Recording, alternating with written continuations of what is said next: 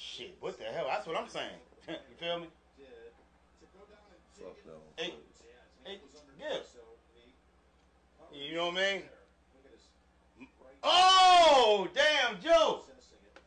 Oh, I get it, y'all. But anyway, one thing about us Baltimore niggas, man, I tell you, let me tell you, one thing about me, man, I tell you, is that I don't play about no damn money.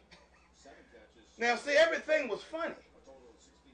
But this big ass dummy want to bet me. And I don't play that. Now, when you see this face,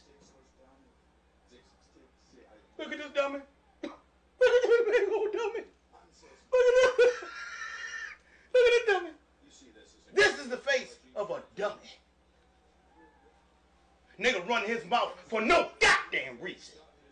Lost his damn mind betting me money. Thinking he got $500. Don't you ever play with me.